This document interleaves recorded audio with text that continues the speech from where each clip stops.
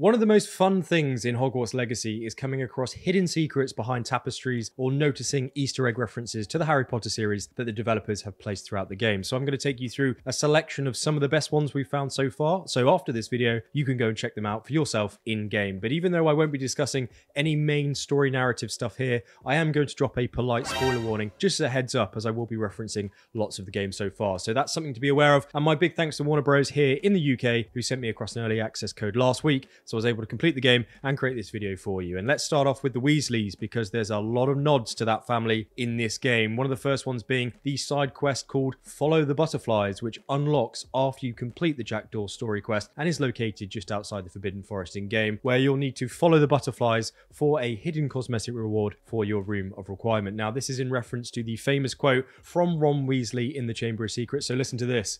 Why couldn't be follow the butterflies? And this all came about thanks to Hagrid's advice, who told them to follow the spiders into the Forbidden Forest to understand more about the basilisks. So a nice nod from the devs there. But speaking of Ron, you may have noticed the transfiguration spell in-game is a cup with a rat tail. Well, this is another reference to the Philosopher's or Sorcerer's Stone, if you're stateside, where Ron tries to turn his rat scabbers into a cup, but ultimately ends up combining the two. There's also a third Ron Weasley Easter egg in the PlayStation-only Hogsmeade quest, where you come across a life-size chessboard, which is another nod to the Philosopher's Stone challenge, where Ron sacrifices himself by saying this. Knight to h3. And you can actually hear the poltergeist say the same thing here. Listen to this. What's this?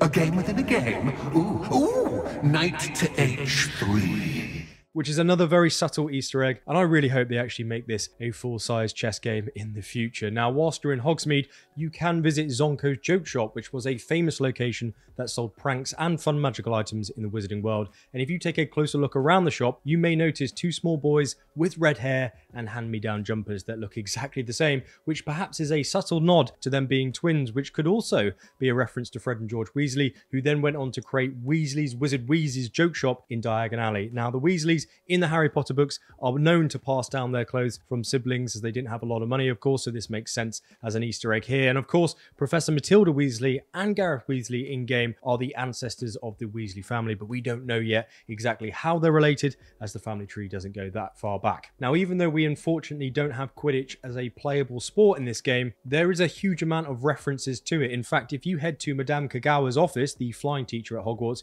you can see a miniature Quidditch game taking place on her table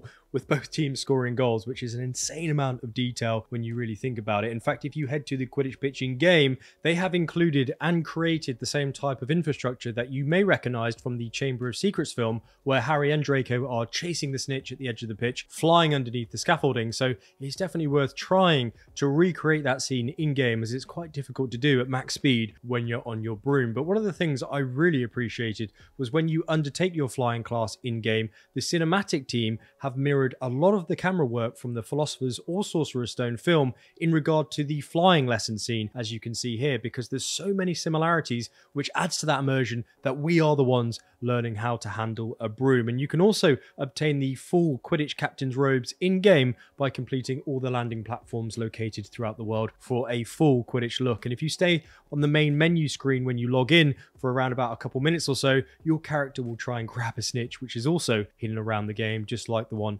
in the Gryffindor common room. Now, speaking of common rooms, one of the first people you'll meet if you're sorted into Slytherin House is Ominis Gaunt, who will play a role in Sebastian Sallow's side quest if you choose to do it in game. But if you don't, though, you won't engage with him again. But he does belong to the House of Gaunt, who are direct descendants from Salazar Slytherin himself, and who are a pure-blooded and incestual family that frequently married cousins to keep their lineage pure, which may be one of the reasons why Ominis is blind in the game, as that could be a very subtle nod to the toll that excessive inbreeding has on families. Incidentally, Voldemort's grandfather was Marvolo Gaunt and would be a potential descendant of Ominis if you weren't aware of that connection in the series. In fact, if you do continue down Seb's questline, Ominis will use his family ability of Parseltongue, which allows a witch or wizard to talk to snakes to open up a secret office that was created by Salazar Slytherin himself whilst he was at the school. And if you read a letter he has subsequently left on his desk, Salazar states that he left a creature creature in a deep sleep, which, when awakened, will cleanse the school of muggle born witches and wizards in the future, which is an in game nod to the Chamber of Secrets and the basilisk inside it. And wouldn't you know, if you travel to the lower grand staircase Floo powder network in the castle and then proceed through this route in the Slytherin dungeons, you'll enter the girls' bathroom. And if you just zoom in on one of the taps on the left hand side, you'll see a snake embossed on the tap, which is where Parseltongues need to speak the word open to then open the Chamber of Secrets, which is a very cool detail indeed. Now, if you're enjoying the video so far or learned something new, and only if you wouldn't mind, a very quick like down below really helps me out on YouTube, so thank you very much. And do subscribe if you're new here. I've got lots more Hogwarts Legacy videos just like this coming to you as quickly as I can make them, so it would be great to have you along for the ride. Now, speaking of bathrooms, if you fast traveled to Professor Fig's classroom on the Floo Powder Network and then follow this route I'm taking now, you'll enter the second floor girls' bathroom, which is where Harry Potter, Ron Weasley, and Hermione Granger all took Polyjuice Potion with the intention of sneaking into the Slytherin common room to find out who the heir of Slytherin was in the Chamber of Secrets books and films. And that didn't work out too well for Hermione, who mistakenly transformed into a cat after adding its hair to the potion instead of Slytherin's Millicent Bulstrode. And if we head to the last cubicle in this bathroom, you can see a green potion brewing away amongst a variety of books, which is a clear nod to this in the series. But speaking of animals, there is a nod to Newt Scamander in the game as his animal companions, that being his Niffler and Pickett, his Bowtruckle, are having a Mandrake tea party on a hill overlooking Hogsmeade. And even though you can't sit down with them on the rug, you can interact with the tea and have a cup yourself. And whilst we're talking about Scamanders, Rolf Scamander, a descendant of Newt, went on to marry Luna Lovegood, who used to enjoy wearing her Spectre Specs spectacles, which were given away as a freebie in the Quibbler magazine, which her dad was the editor of. Now, these glasses allowed the wearer to see Rackspurts, which were invisible creatures that floated in and out of your ears, causing your brain to go funny, with the spectacles being described in the books as making you look like a multicolored owl, which is what I think the devs have done here with these designs in game. So keep a lookout for Rackspurts. Now, let's talk about a very famous passageway you may want to experience yourself in game, which is called the One Eyed Witch Passageway, which was a secret tunnel on the third floor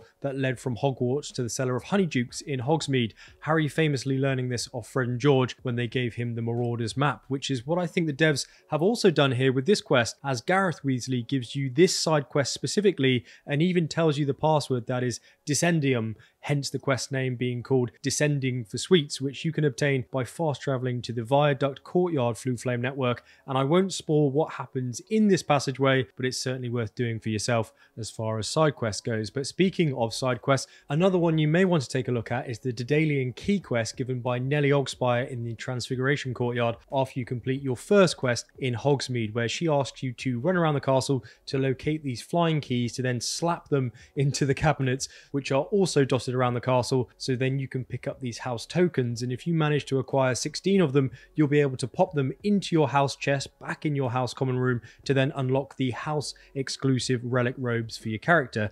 Now, we've seen these flying keys before in the Sorcerer's Stone, as Professor Flitwick enchanted a whole flock of flying keys in the third chamber of the Philosopher's Stone trials, with the keys and doors being enchanted to be impervious to the unlocking charm, meaning you couldn't just unlock the door in question with a spell. You had to place one of these flying keys in it to then open it up, and this quest is most certainly a nod to that. But speaking of Flitwick, he was the conductor of the famous Frog Choir at Hogwarts, who usually practice singing their songs in the Great Hall and the Bell Tower, which you can actually reach by traveling to the Transfiguration classroom, Floo Powder Point, and then following this route that Neek is taking now, which I'll speed up for you until you enter the Bell Tower Auditorium, and there you'll find frogs ready to be conducted for their daily choir practice. Now, what about Dumbledore? Is he in the game? Well, no, he isn't, even though he's technically alive at the time of when this game takes place, that being the late 1800s. But if you fast travel to the Ravenclaw Tower and then head to the Grand Staircase, you'll notice quite a unique portrait of a wizard that looks exactly like Richard Harris, who famously played Dumbledore in The Philosopher's Stone and The Chamber of Secrets and sadly passed away in 2002. Now, of course,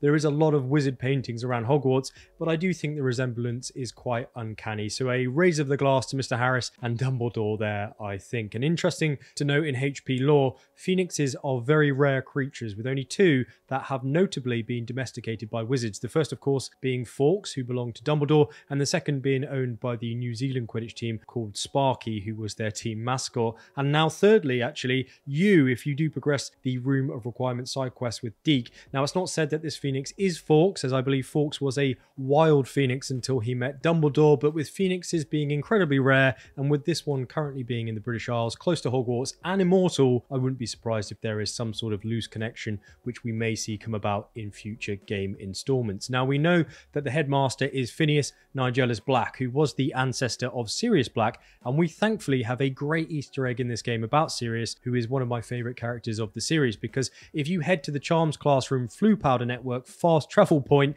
and then venture up the staircase in Professor Ronen's office through to the battlements, you'll come across a cage which is the very same cell that Sirius Black was imprisoned in in Hogwarts whilst he was awaiting the Dementor's kiss in the Prisoner of Azkaban books and films. Now, Harry and Hermione famously used their time turner to travel back in time, save the Hippogriff Buckbeak, and fly him to Flitwick's office tower where Sirius was being kept, who then flew off into the moonlight on the back of Buckbeak. Now, Sirius was unfortunately killed by Bellatrix Lestrange in the Order of the Phoenix via the Avada Kedavra killing curse, which we can also learn in this game with the developers creating the spell root as a visible lightning bolt scar that is, of course, in reference to Harry Potter and the killing curse that was inflicted upon him by Lord Voldemort. Now, back to the castle because there's a couple details you should definitely look out for here. The first being house elves, which only come out at night to clean the castle, which you will occasionally come across if you sneak up on them, and they will disappear when they spot you as they don't want to be seen by students. In fact, you can head down to the kitchens and have a look yourself, with the nearest fast travel point being the grand staircase. And if you just follow the route that Is taking here, you'll reach a portrait of a bowl of fruit where all you need to do is tickle the pear to gain access, with the house elves then preparing all the food on the tables down here below, which would then be magically transported directly above to the tables in the Great Hall that are in the exact same position. So that's how that kind of works in lore. But if you're not in Hufflepuff House and continue down the corridor after you exit the kitchens, you can try and force your way into the Hufflepuff common room. But it does have a defense mechanism, that being vinegar straight to the face. So go give this a go and see for yourself if the Hufflepuff common room sees you as an intruder. Now, there's a lot of secret passageways and tunnels that are not attached to any quest in this game, and I just want to run you through a few of them that you may have missed, such as using the slowing spell Arresto Momentum on the clock tower, which you can then fast travel to at the clock tower courtyard Floo Flame, and once it is halted, it'll then open up a secret room for you nearby to loot a nice few rewards. You can also travel to the faculty Floo Powder point by the grand staircase, and then follow the route Nika is also taking here, and once you do reach the top of the stairs, you'll come across a fireplace, which if you cast the Glacius charm on it, will freeze the fire and allow you to creep through to a secret room with more rewards available. Now, thirdly, if you fast travel to the bell tower courtyard Floo Flame point, and then follow this route Nika is taking again, you'll end up coming across a tapestry, which is very easy to miss. But if you run at the K, it'll then open up for you with more rewards to be found inside. Now, if you're looking for more tips and tricks so you can get the most out of this game, do click the video on your screen right now and I'll see you there in just a second. But if you're still here, my huge thank you to my co-content creator Nika, who has joined me in early access and has scoured the game for the best info for you, as well as Dennis, Donut, James, and Iron Knight, who has helped with footage for this video. Butterbeer is on all of them, and I'll see you in that next video.